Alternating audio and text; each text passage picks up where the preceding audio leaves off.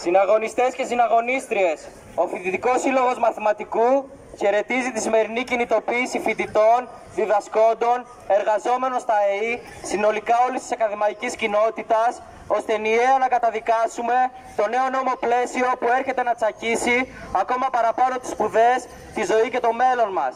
Χαιρετίζουμε επίσης τους φοιτητικούς συλλόγους Ιωαννίνων που πήραν απόφαση και αυτοί να συμμετέχουν στη σημερινή μας κινητοποίηση.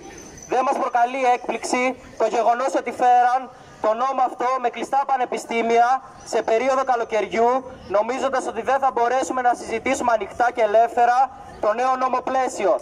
Άλλωστε έχουμε συνηθίσει σε τέτοιες μεθόδους όπου μεγάλη εβδομάδα να φέρουν τα ΜΑΤ ή να φέρουν αντίστοιχα νομοσχέδια για την εκπαίδευση με άδεια τα αμφιθέατρά μας. Είναι γελασμένοι αν πιστεύουν ότι, ότι δεν θα βρουν αντίδραση.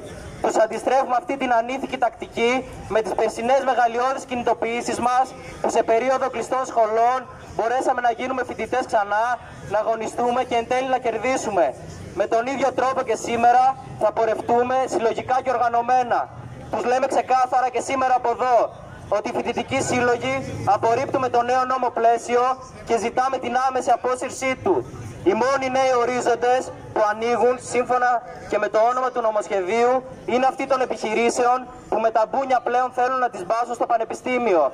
Ο νέος νόμος πλαίσιο δεν έρχεται όμως σαν κεραμνός σε νεφρία πατάει πάνω στις κατευθύνσεις της Ευρωπαϊκής Ένωσης, πιο συγκεκριμένα στη συνθήκη της Μπολόνια που όλες οι κυβερνήσεις υπερασπίστηκαν κατά γράμμα. Θυμίζουμε τον νόμο Διαμαντοπούλου το 2011 επί Πασόκ που όλες οι μετέπειτα κυβερνήσεις το διατήρησαν. Ή την περίοδο διακυβέρνησης του ΣΥΡΙΖΑ που ήταν ο πρώτος που έφερε γενίκευση των διδάκτων στα μεταπτυχιακά, ρύθμιση για αναγνώριση πτυχίων κολεγίων που ίδρυσε το πρώτο ξενόγλωσσο προπτυχιακό με δίδακτρα. Ε, λοιπόν, όλα αυτά που προβλέπει δεν μας είναι τελείως ξένα. Είναι το Πανεπιστήμιο ΑΕ, το Πανεπιστήμιο των Επιχειρήσεων και των Ταξικών Φραγμών που όλοι μαζί το υλοποιούν και αυτός ο νόμος πλαίσιο έρχεται να συμπτύξει όλα τα προηγούμενα νομοσχέδια, να, να προσθέσει και άλλα, δίνοντας την τελειωτική βολή στην ανάγκη μας να σπουδάσουμε δωρεάν και όπως μας αξίζει το 2022. Αποφασιστικότητα και μαχητικότητα δείχνουμε το δρόμο ώστε αυτός ο απαράδεκτος νόμος πλαίσιο να μείνει στα χαρτιά ή ακόμα και αν ψηφιστεί να φροντίσουμε εμείς οι ίδιοι φοιτητές που κανένας δεν μας ρώτησε τι έχουμε ανάγκη σήμερα να μείνει στα χαρτιά.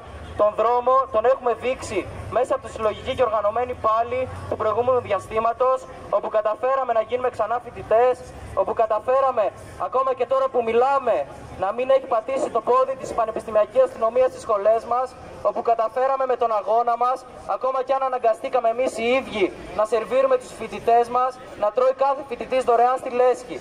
Τους το ξεκαθαρίζουμε λοιπόν όσους νόμους και αν φέρουν, όσες διατάξεις και αν βγάλουν, ο αγώνας μας για σπουδές και ζωή με δικαιώματα κάθε μέρα θα δυναμώνει γιατί είναι δίκαιος. Μέχρι να κυρώσουμε με κάθε τρόπο και μέσο αυτό τον απαράδεκτο νόμο πλαίσιο που τόλμησαν να φέρουν. Μέχρι να ξυλωθούν όλοι οι προηγούμενοι εκδικοί στις ανάγκες μας νόμοι. Το λέμε λοιπόν και σήμερα και θα το λέμε κάθε μέρα και κάθε λεπτό όπου μας δίνεται ευκαιρία στο μονόδρομο που μας παρουσιάζουν του Επιχειρηματικού Πανεπιστημίου και του Πανεπιστημίου ΑΕ που είναι εχθρικό για τις ανάγκες και τα όνειρά μας, εμείς δεν πάμε ούτε βήμα πίσω.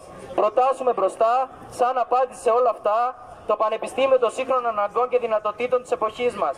Ένα πανεπιστήμιο που μόνο εχθρικό δεν θα είναι για τις σπουδές και τη ζωή μας και που γι' αυτό δεν θα χρειάζεται την καταστολή και την τρομοκρατία για να το περιφρουρεί.